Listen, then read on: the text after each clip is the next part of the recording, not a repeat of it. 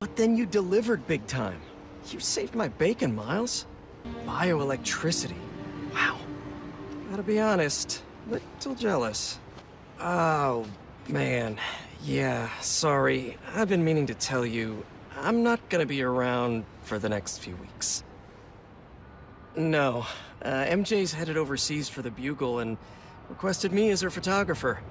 Kind of a working vacation for us. Hey, I did this gig for eight years without backup, and you better believe I screwed up lots of times.